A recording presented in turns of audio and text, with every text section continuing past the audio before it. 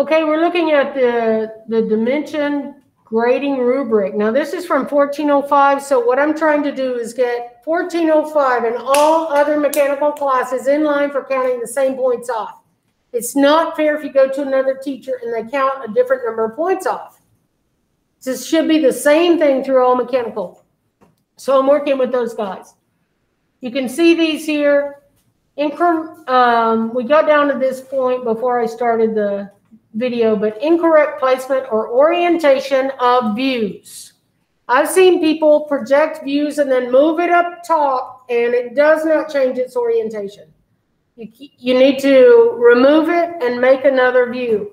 Uh, incorrect placement, uh, failure to mark a reference dimension with parentheses. That's a big one.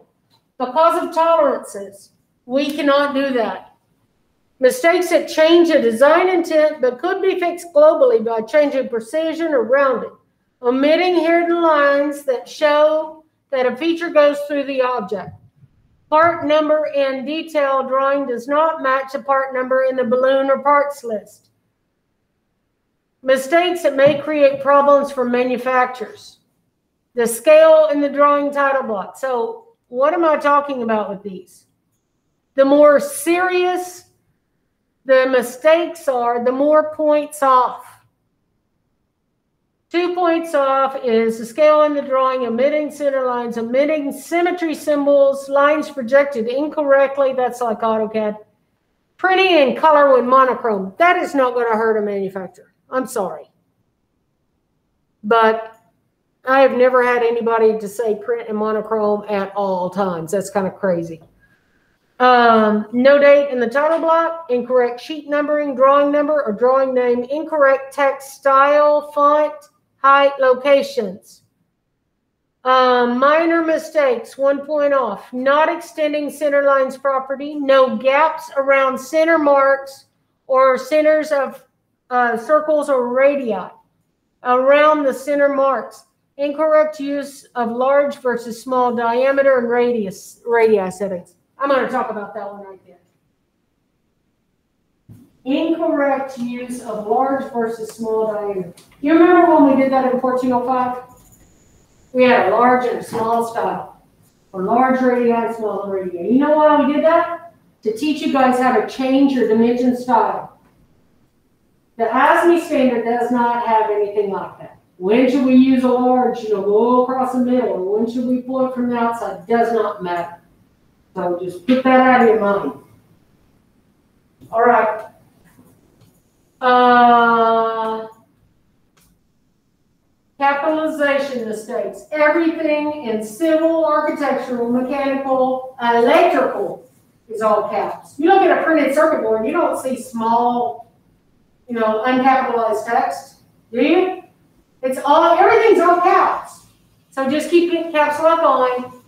Incorrect line weight, that's another one. I'm going to close this door. There are some specifications on line weights, and they are ASME standards. What I'm going to tell you guys that I've never had anybody check my drawings, even working for Boeing, even working for Defense Systems, to say your line weights are wrong. They don't really want to see Crayola on a drawing. And that's what it looks like to me when you use line weight that's real heavy. So line weights, we may have set them up, we may have used them in 1405, but in industry, I've never seen any company say you have to follow, you have to print with the line weights on. Right, just say it. They just want lines. They want certain kinds of lines. They want lines.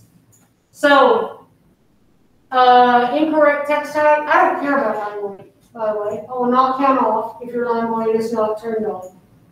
Incorrect text type. So we have a template that specifies text type. We have a note to start with that specifies text type. All text should be the same, except for the titles of views. That's double your text height and your dimension height. So if we use 125, 0.12 is the minimum text height, right? 0.12. So if I have the view of a part, should be double that. We got a 125 because an eighth of an inch is very, very common. So one twenty-five text, one twenty-five dimensions, one twenty-five arrowheads, 0.25. there are lots of one twenty-fives in here, then they kind of all correlate, makes the dimension style easier to remember. The text, uh, for our view should be twice as large to notate that that is a view. Just like in fourteen oh five with the room labels in the guest cottage, larger than everything else. Incorrect placement of the dimension. If you put it in, uh, let's say the diameter of the cylinder has to be in the side view. You guys remember that? Because you're showing the path of that, of that cylindrical feature, You're showing its profile. So that would be something similar to that. Not dimensioning a cylinder, so let's just talk about profile. If you're gonna dimension an angle, you have to select two angular lines. But what if you, what if it was not dimensioned with an angle? What if it was x and y dimensions? We want to dimension those x and y dimensions still where we can see that you're dimensioning an angle. Because from any other view, it looks like a block, right? It looks like a, a notch or a protrusion. So improper dimension styles, not dimensioning a cylinder in its side view, there we go. Incorrect dimension spacing, I'm not going to measure how far your dimension is away from your drawing, from your drawing view. There is an arrange button that goes to our dimension style, and we can click on that, select all of our linear dimensions. It doesn't work with the leaders. So I just do all my linear dimensions, hit the arrange button, bam, they're all 0.4 away and 0.25 apart.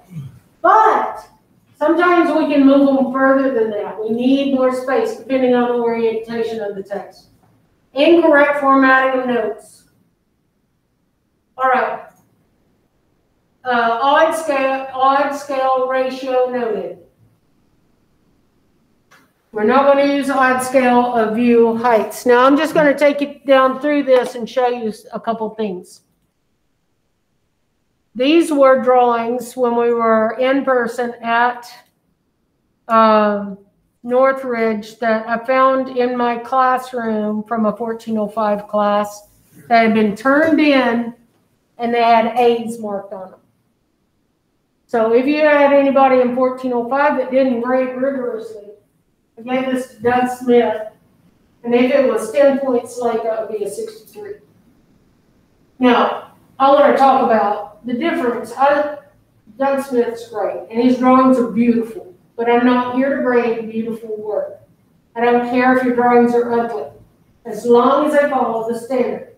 There were some things that he wanted that he was just trying to endorse as first time drafters, right? First time making a drawing, make it as best you can.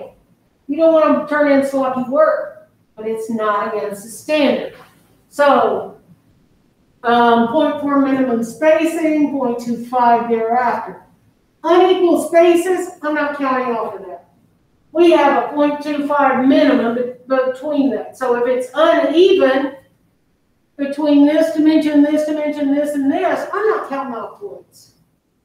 That's not against the standard. It's a 0.25 minimum. So I'm just using this as an example, okay? Uh, center mark on wrong layer too thick. Um, they drug the center line out instead of having the extension line here. The precision is huge.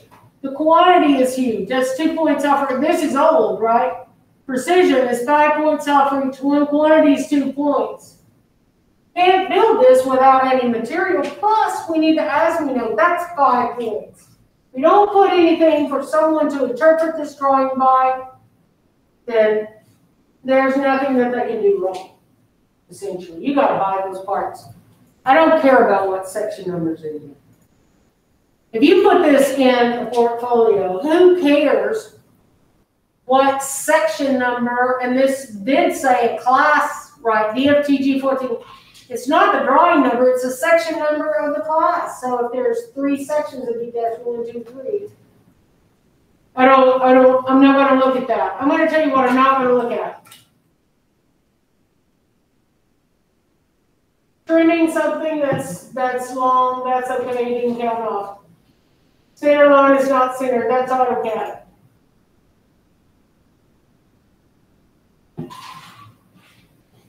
Extending these beyond the largest of the objects. Okay, there's one. Here's another one. And these all had A's on them and nothing marked up. So nobody was getting the any help with this stuff. So the font isn't right. This reference dimension was not in parentheses. Views are not oriented correctly.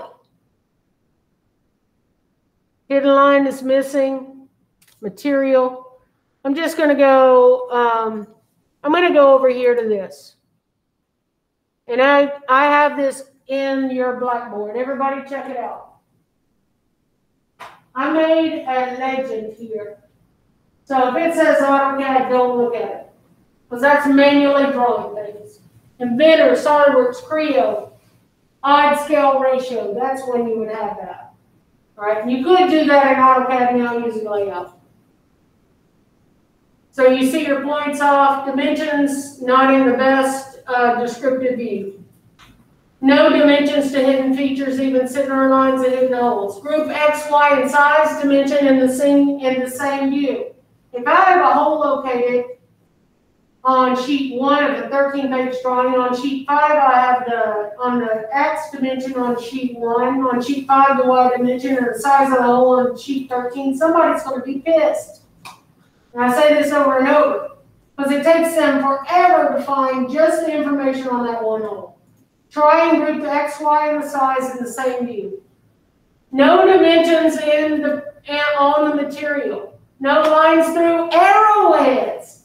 And I don't, I don't think you guys have seen that before. But if you cannot see exactly where someone's pointing, that is not clear.